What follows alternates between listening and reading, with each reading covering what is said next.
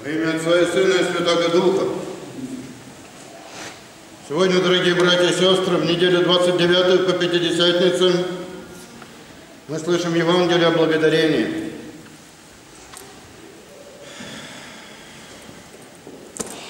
И кратко сказать, нет ничего выше, ни на земле, ни на небе, чем благодарить Господа. Это сверхъестественная добродетель. Все добродетели сверхъестественные. Все добродетели даются благодатью Божией. Ни одна из них не принадлежит человеческому естеству. В том числе, например, благодарность родителям.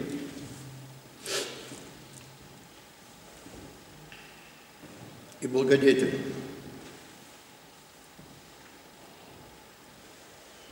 Но есть дела веры,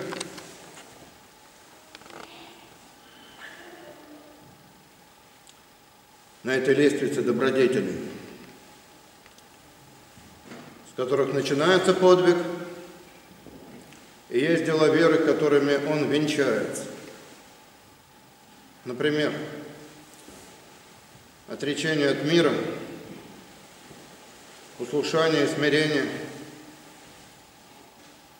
чистота и целомудрие – это начало добродетели. Рассуждение духовное, и благодарность Богу, и милостыня, и молитва,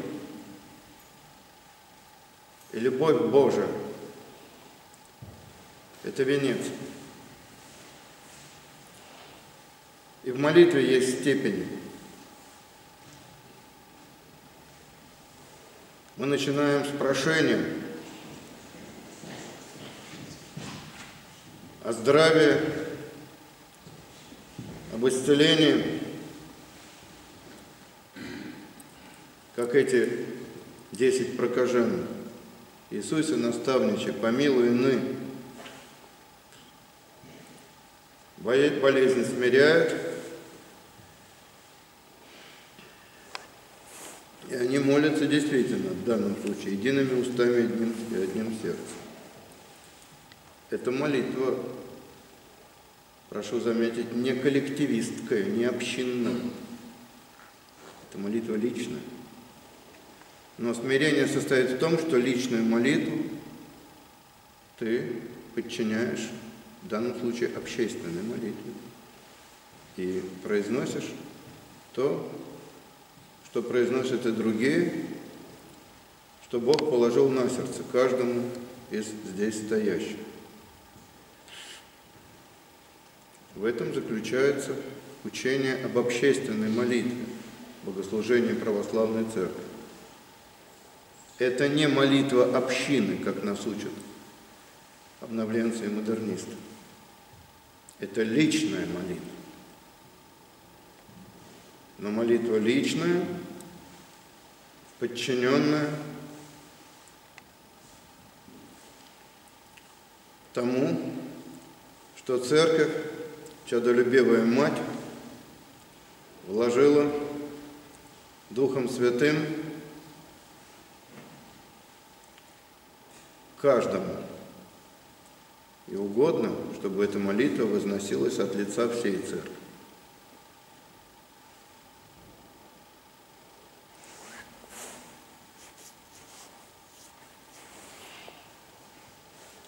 И вот эти 10 прокажений такие.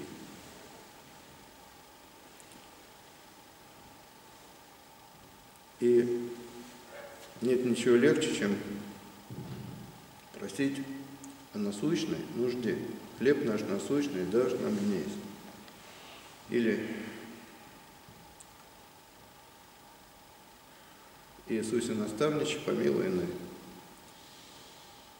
Когда все кровоточит, и когда сама плоть вопиет которой душа соединена с этим бренным телом и не может разрешиться до времени от него. То есть душа чувствует боль и воспринимает боль. Не тело болит, а душа у болящего человека.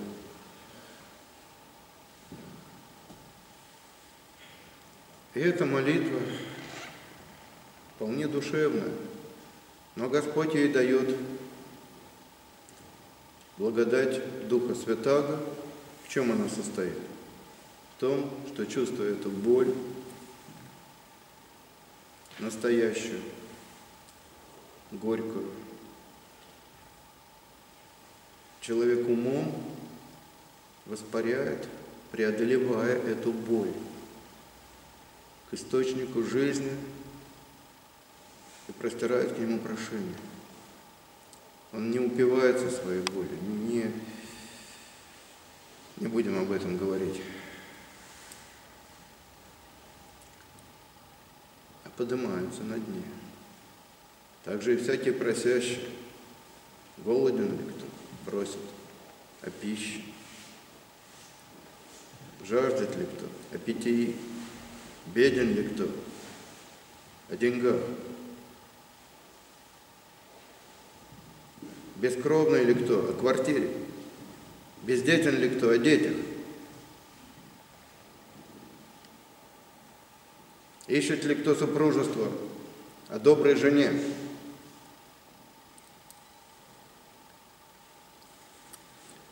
Это боль души, если она на правильном месте, если человек правильно просит, безропотно и очистив совесть свою,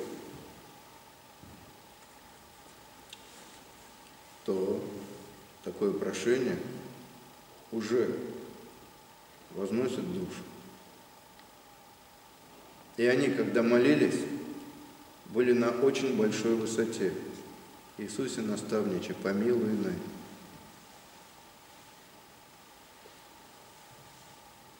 И в том числе тот единственный, который оказался достоин этой молитвы. Господь показывает, когда говорит, дерзай, чада, вера твоя спасет тебя, что и у тех была вера. И тем было дано благодатью Духа Святаго так взмолиться, что молитва была удовлетворена, что Бог презрел на эту молитву тайно, не сказал «исцеляю вас», а послал «пойдите к священникам, покажитесь». И здесь, братья, сестры, и здесь душа моя окаянная. Не должна ты никогда останавливаться на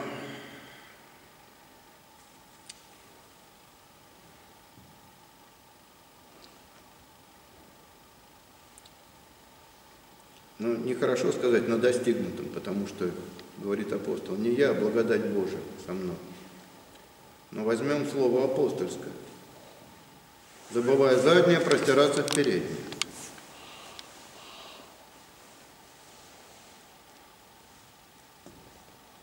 А как это бывает?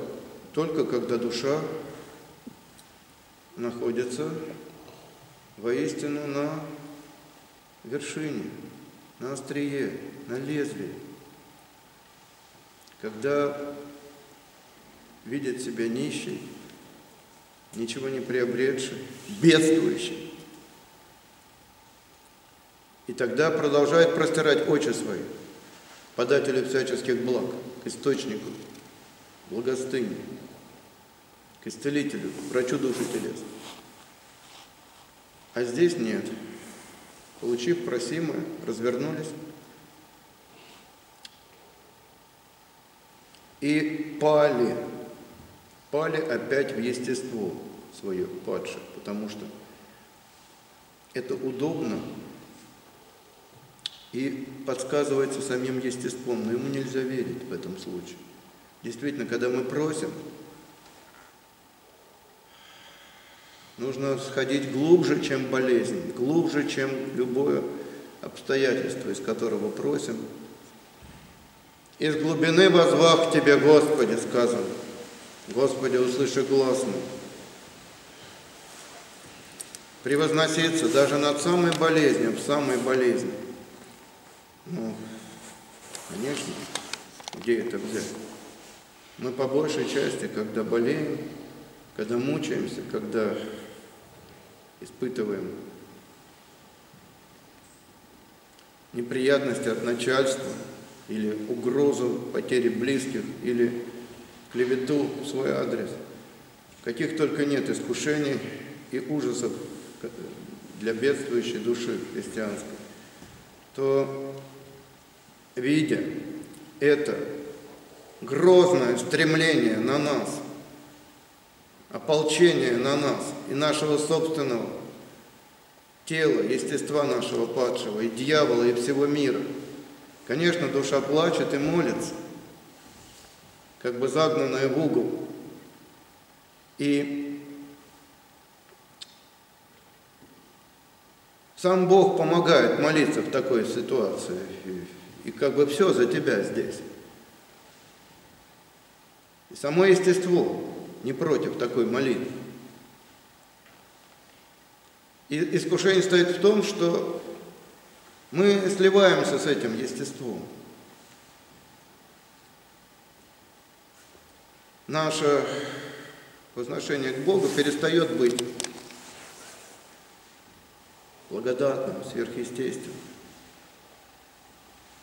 а становится как бы криком нашей души ну, выражаясь этим современным языком, но я не буду. Экзистенциально наши, это не будем мы даже упоминать таких слов. Как бы из нашего, из, нашей, из этой экзистенции, это по латыни сущность. Значит, вот молитва как бы единосущная нам. Но это не так. Это не так. Молитва только от Бога дается. И обратиться к Господу Богу с молитвой только Богом дается.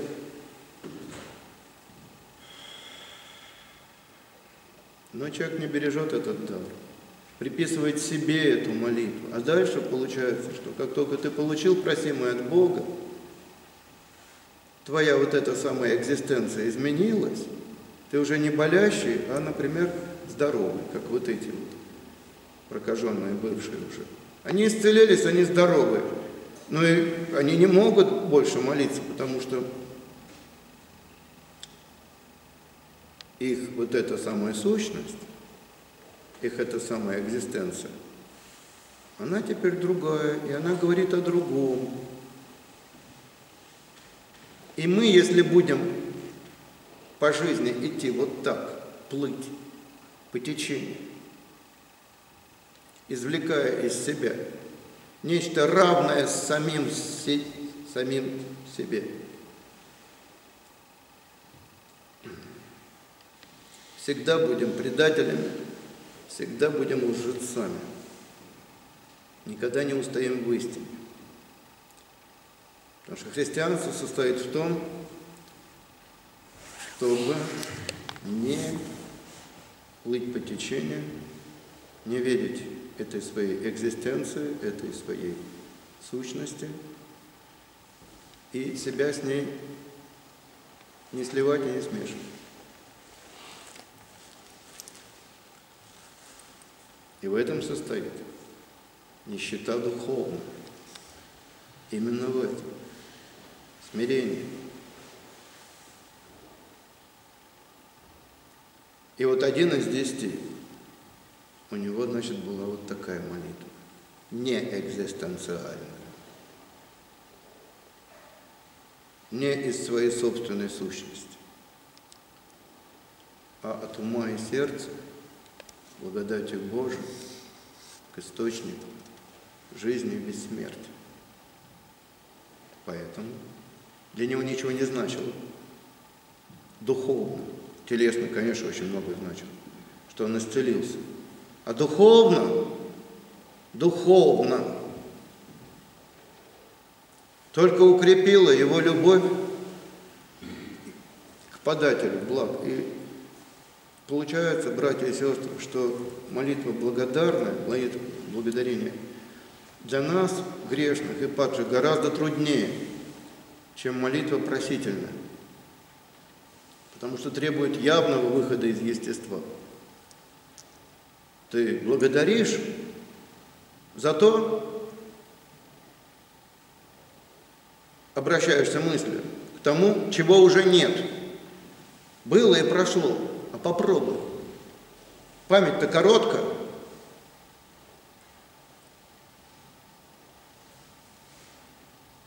Это же касается молитвы за наших покойников. И вообще всего того, что изменяется во времени. Короткая память, а у Бога вечная память.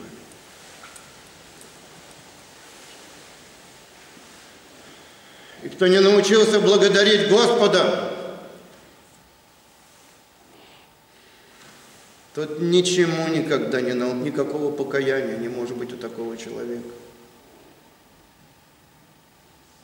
Потому что вся жизнь христианская состоит в том, чтобы благодарить Господа. Воспоминания его страстей и искупления и оправдания совершенного на Голгофе – даровавшего нам жизнь вечную, подписавшего ее своей кровью и давшего нам, снабдившего нас таинством, сверхъестественной благодати, чтобы мы не умерли, чтобы мы жили. И это требует постоянного поучения, воспоминания, сосредоточенного, уединенного,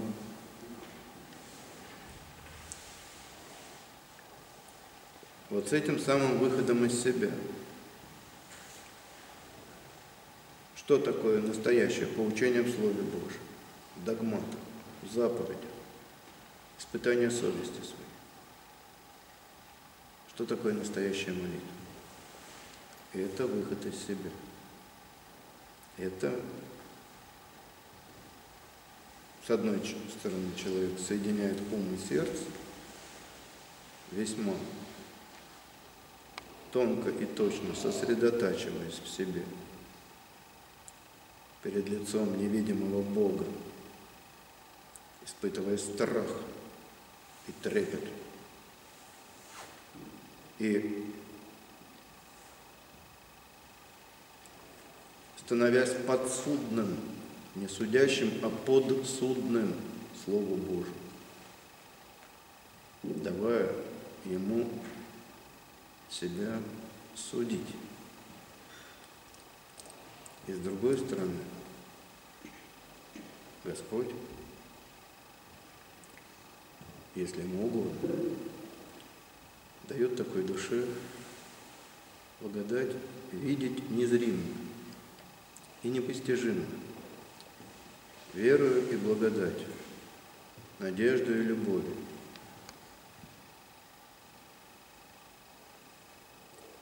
Только так можно спастись, больше никак. Только так. Потому что сеющий, сеющий в плоть, от плоти пожнет тление. И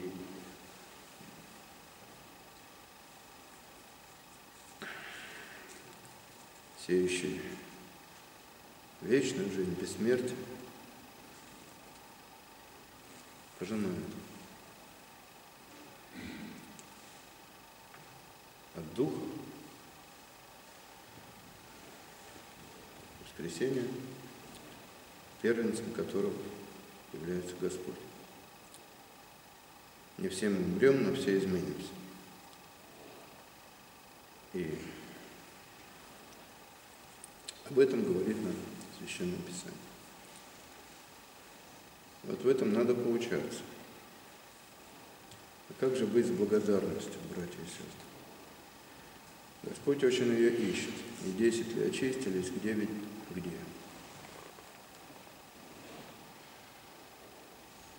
Благодарение мы по силе приносим, как в песне Амбросия Медиалонского, или в тропарях и кондаках благодарственных. Действительно, благодарить трудно. Это выход из времени мимо текущего. Это по сути пренебрежение тем, что уже есть. Но ведь человек говорит себе, ну я же уже здоров, ну так оно и должно быть, это же я, это же я сам.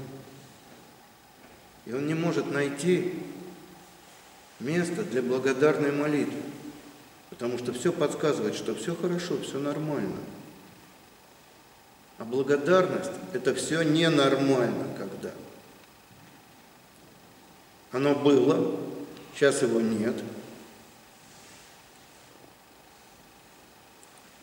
И ты не можешь вернуть то, что было. Так устроена жизнь человеческая. И благодарность Богу – это даже не возвращение в то, что было, которого не вернешь. Это не, так сказать, не реминесценция, нет, это не, не воспоминание о том, что было. Нет, это созерцание. Это созерцание милости Божией и умиление души перед Ним. Поэтому и на литургии, когда мы благодарим Господа, который единую себе принес, яко приношение Отцу своему, заколается, освящая причащающийся. И мы, и священник, который Всю жизнь благодарит, что удостоен во внутреннее за завесу войти зритель, самозрачное лице святого возношения, вните во внутреннее завесу. Он видит и умиляется, вот оно, это возношение, единое себе принес, один единственный раз, значит, на Голгофе себя принес, яко приношение Отцу своему, твоя, твоих тебе приносящих, сам себе священнодействует. Но присно заколается, то есть постоянно заколается в литургии, освящая и причащающиеся. Вот пойми это, как это? Это таинство, но непостижимо. но непостижимо. И это надо постичь. И вот отсюда слезы, отсюда благодарность, отсюда потрясение души.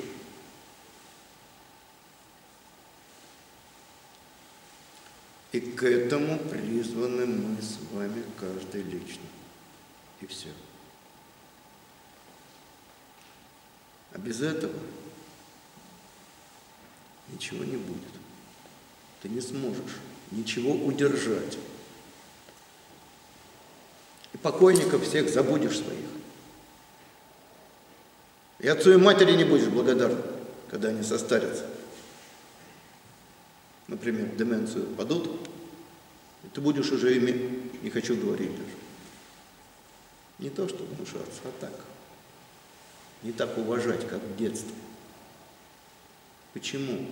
Да потому, что человек не может запомнить.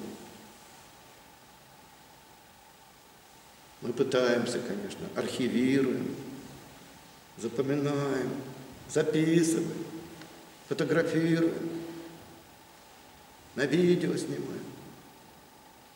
Но это все сгорит.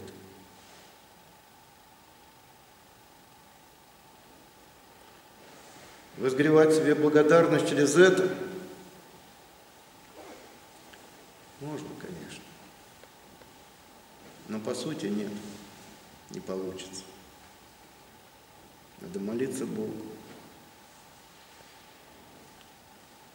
От Него благодарность. Только от Него, братья и сестры. Но надо молиться Богу, чтобы дал молитву, чтобы дал благодарность. Праздником вас, дорогие братья и сестры. Аминь.